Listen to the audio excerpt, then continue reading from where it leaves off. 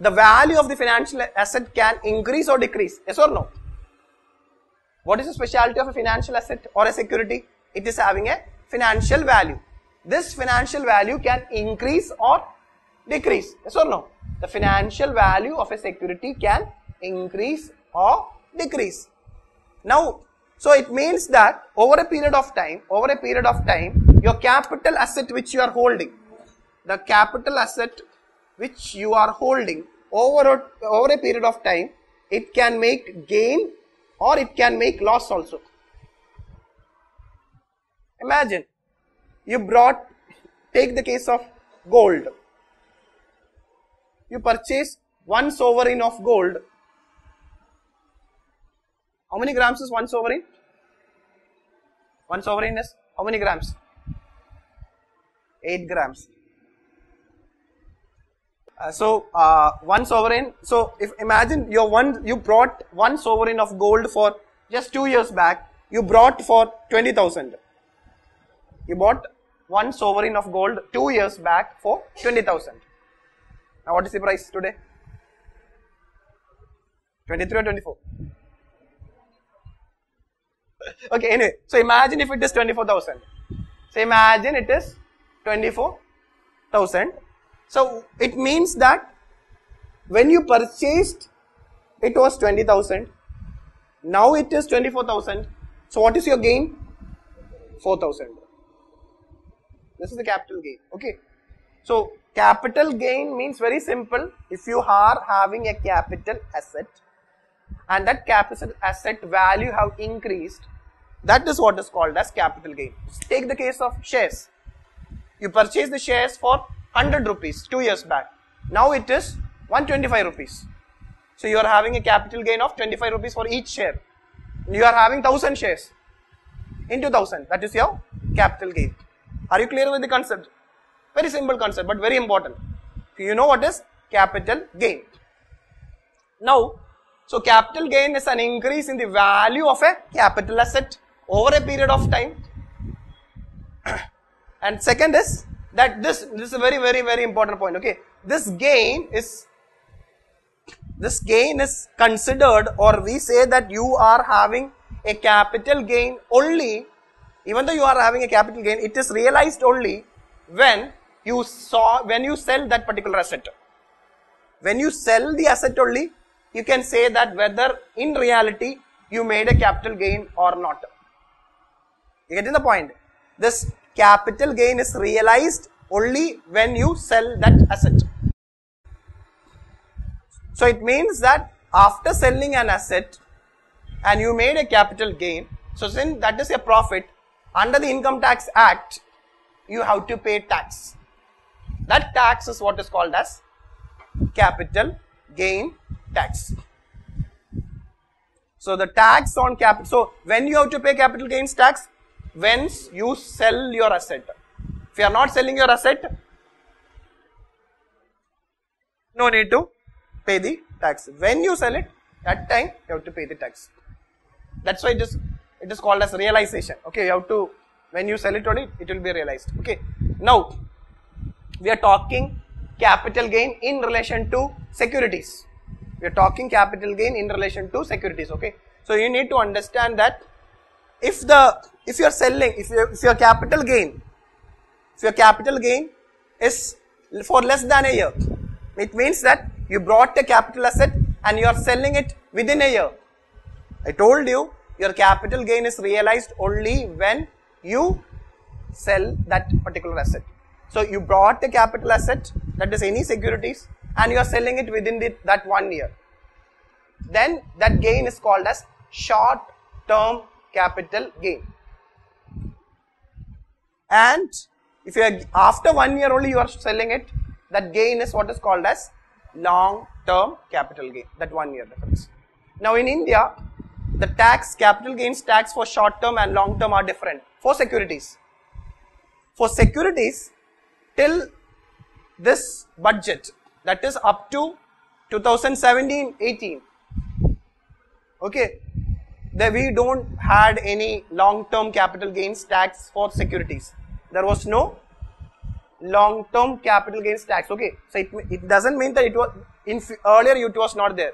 See, I think in 2004, in 2004, in 2004, we have abolished. In 2004, we have abolished long-term capital gains tax. We abolished long-term capital gains tax. Means we have made it nil for securities, not for any other assets, only for securities. So what we had is from 2004, we had only short-term capital gains tax and it was 15 percentage. You know what is short-term and long-term now? But this budget, this is one of the most important announcement of budget 2018-19. Budget 2018-19 after 14 years, after 14 years, it have reintroduced long-term capital gains tax for securities and the tax rate is 10 percentage. So now we have a short-term capital gains tax of 15 percentage for securities, long-term capital gains tax of 10 percentage and it was introduced in budget 2018-19 that is one condition. Second is if your income, if your capital gain is above 1 lakh only, if your capital gain is above 1 lakh only, you need to pay this 10 percentage tax. If it is less than 1 lakh, no, no, no need to pay long-term capital gains tax. You are exempted. It's very, very important. So no, write down that since it is it means it was a February 2018 news, which is our time period for your current affair. We expected in 2018 prelims was not asked your time 2019 you expected. I will solve a question 2012 question based on the concept what do you mean by capital gain. Under which of the following circumstances may capital gains arise? Three statement question. Read the first statement. When there is an increase in the sales of a product. Is it capital gain? When there is an increase in the sales of a product. Is it capital gain? I am having thousand mangoes. Now earlier I, I, I, in every day I can sell only 100 or 200 mangoes. Means I used to sell 100 to 200 mangoes per day. But now I am selling at 300, 400 mangoes per day. Is that a capital gain for me? You think and answer. What is, is it a capital gain first statement? Yes or no? No. Why? It is when, why, when we call it as a capital gain? When, when the capital, the, when the value of a capital asset increases only, it is called capital gain, not in the sale of a product. So sale means you will get margin only, profit margin only. Capital gain and profit margin is different. Is different. So first statement is, first statement is wrong. Are you sure? See, be, be thorough with the concept, okay? You need to understand what do you mean by capital gain. Capital gain happens over a period of time when the capital asset value at which you have purchased have increased. Okay, so the this is first statement is not the concept of capital gain. So first statement is wrong. If first statement is wrong, which all choice you can eliminate?